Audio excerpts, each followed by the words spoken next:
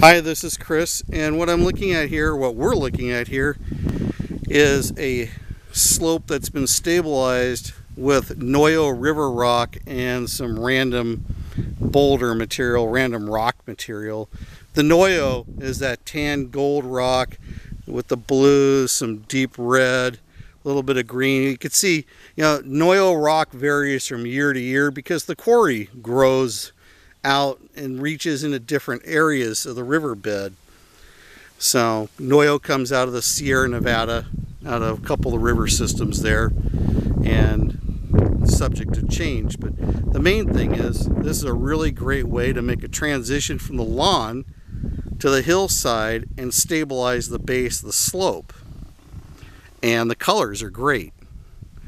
Know, a lot of people are hooked on Arizona River Rock, but those colors are really dark Okay, this has got afternoon shade most of the day. So these lighter colors balanced out with the blue, the deep red, some of the darker colors against this golden tan make a really attractive border here.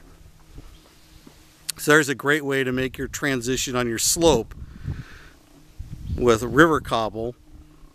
Another way this would have been done is with uh, chunky rock or riprap, irregular rock like this is. They've got a little bit of irregular rock right here.